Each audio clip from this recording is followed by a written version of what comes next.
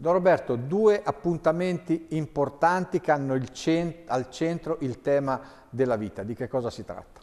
Si tratta della veglia che faremo in preparazione il 2 di febbraio eh, a Mazzetta, eh, in preparazione della giornata per la vita che invece sarà domenica 4 eh, di febbraio.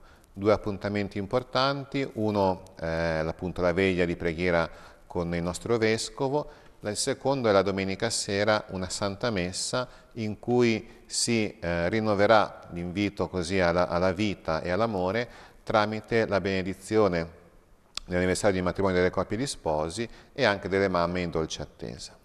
Due momenti di preghiera insieme al nostro Vescovo, vogliamo ricordare appunto dove e come si svolgeranno e a che ora Alberto? Allora, la veglia di preghiera sarà venerdì 2 febbraio alle 21 alla chiesa di Mazzetta, e sarà il nostro vescovo e ci saranno delle testimonianze.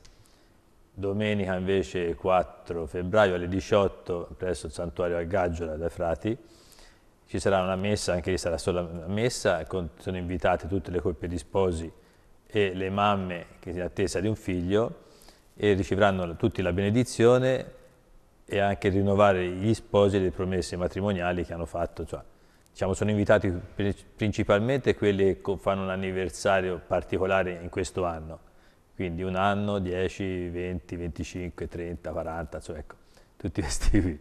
Ma comunque può venire chiunque, insomma, certo. sposi perché...